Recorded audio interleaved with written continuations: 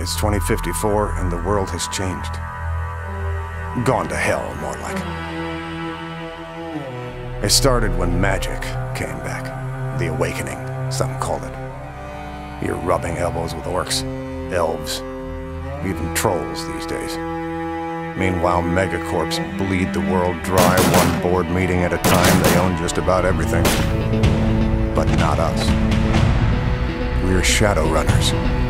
Mercenaries, operating in the margins, working dangerous jobs for the desperate and the powerful. Being a runner takes more than skill and street smarts. You want to live long enough to get paid, you'll need a team, the right talent for the job. Maybe that's a mage, someone who can fry your enemies with deadly spells.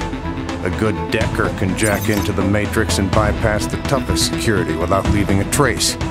Adepts, riggers, shaman, and your street samurai.